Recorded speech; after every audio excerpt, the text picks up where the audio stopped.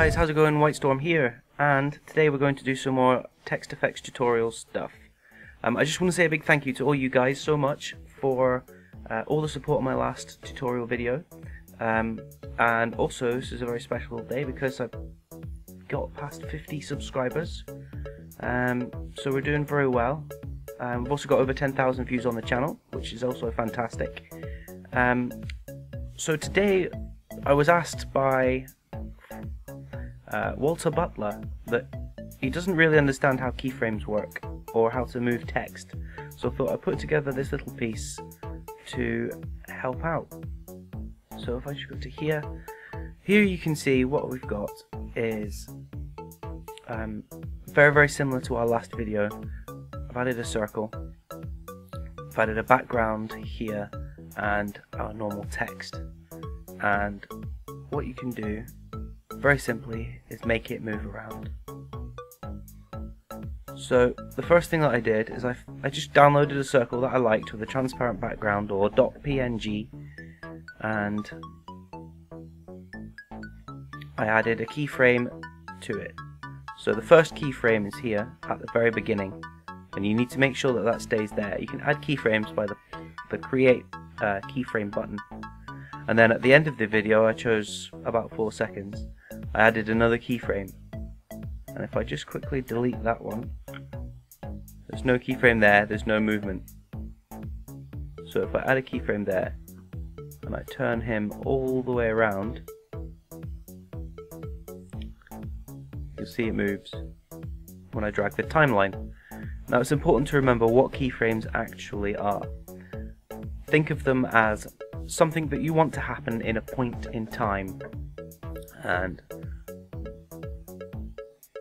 I go back here you can see what we've created is a rotating revolving background um, the way that I've placed the background video into the text is literally with the multiply mask button that we spoke about last time so if I just click on there you can see that all we've got is what a, kind of a background that I've been using quite a lot recently. It's, it's just a, a moving motion kind of background, a loop video, and that's exactly the same uh, videos as what I got before on the last um, tutorial that I did, and it's just this free loop video uh, called Vibrant.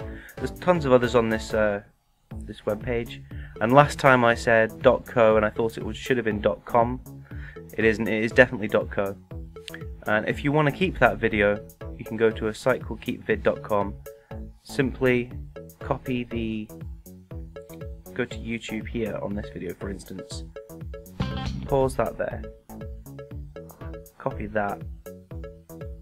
Go to keepvid. Paste it in here. Click on download and it'll give you all the options of which you may want to download it. So I just right click here, save link as, and save it. I'm not going to save it because I've already got a good version of that. So I'm going to minimize that and go back here. So you might have noticed that I've got some little extra text effects that I've done on the actual text. And if I cancel that, I put in uh, six different keyframes here for an event to happen and that's literally what I did is I added every about 10 seconds or so a keyframe. The first keyframe that I added apart from the original keyframe is this one where the text seems to grow. And all I did basically was zoom in a little bit. So press play.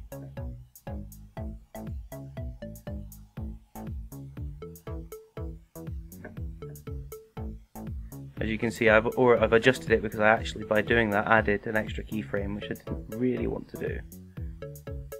So just delete that. And and you, all you need to do really to make something fun.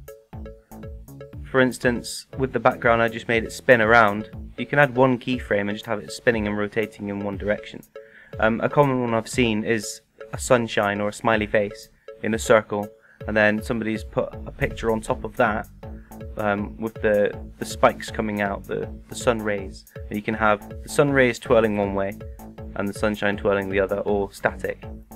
Um, so this is what we've created. In fact, I'll make that so you can see that better.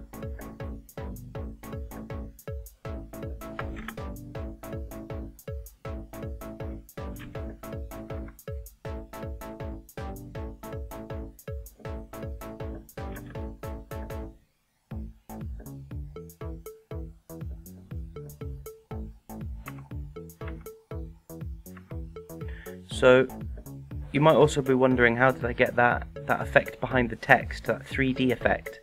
Um, if I just open up the text edit generated media, um, all I've done is I've added some of the extras on here. So um, shadow color here, you can change it to anything you like. Some a bit more garish than others. That's a good one, I think make it stronger, I think. There. That one seems to make it look like it's floating, which is really good. Bring that back and we'll play it on the big screen one more time. That's a lot better than what I had it. I had it as the light blue before to make it kind of ne a neon kind of style effect, but there we've got a, a shadow effect um, that seems to work well because of the colours behind it. So I think what we're going to do... See now it doesn't work because it's a different colour behind it.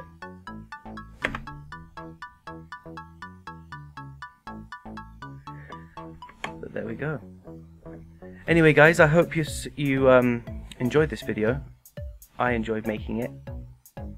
Um, some of the reasons why I would have a, a motion text effects style tutorial is it's the first impression that you have when you have a video.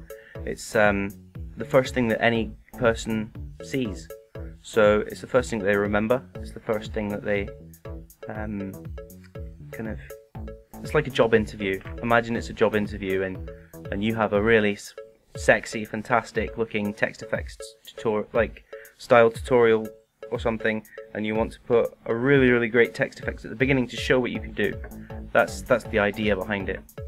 So like I've said before um, but adding animation it's great for intros and it's also great for outros. Um, I'm going to place my outro at the end of this for instance and it's going to have um, thanks for watching and the text is going to be animated um, so that you yeah, it draws your eye it brings attention to it so um, anyway guys, I'm going to leave you there. Thanks for watching. Uh, do remember to leave some thumbs up and I will see you next time. Bye bye.